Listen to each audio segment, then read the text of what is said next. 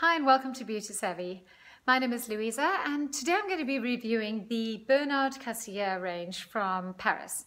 So specifically I have the Time Interceptor range with me and um, I've been reviewing some of their products which you can read up about on beautysavvy.com but uh, for this video specifically I'm having a look at their anti-aging mask so I have a little sachet with me this is what it looks like and I thought that maybe we could discover this together so a little bit about the brand before we get going. Um, it is a brand from Paris. It's very well known there. And they specialize in using extracts, uh, specifically vegetal extracts, in all of their products. So those make up the active ingredients that work on your skin and they have a range that basically suits each and every skin type. So you need to identify what it is that you're looking for.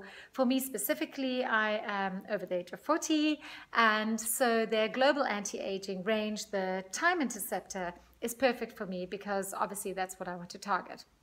So this mask has a complex of extracts um, of argan leaves as well as African tree bark. And they fight specifically against free radicals and they work on firming the skin to eradicate it from fine lines and those deep wrinkles. Um, it also has extracts of oats in it, which give a tightening feeling to your skin immediately. So um, yeah, so let's have a look. I have snipped this little packet open.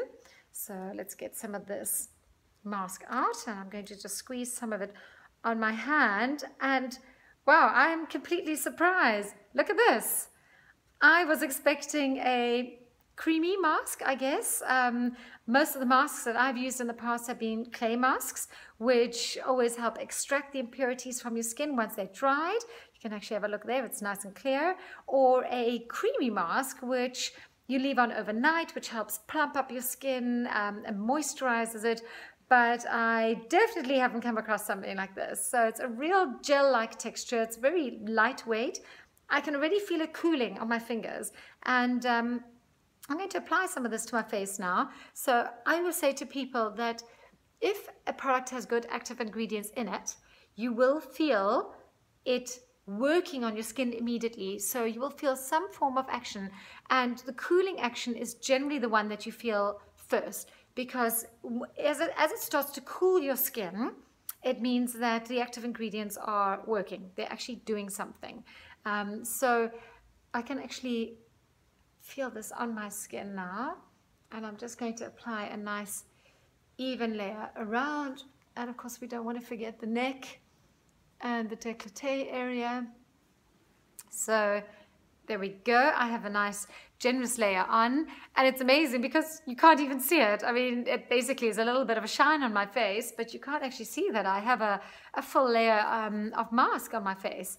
So you need to leave this for 10 minutes and then rinse it off. So it's not a mask that stays on your face all night um, that you can actually go to bed with.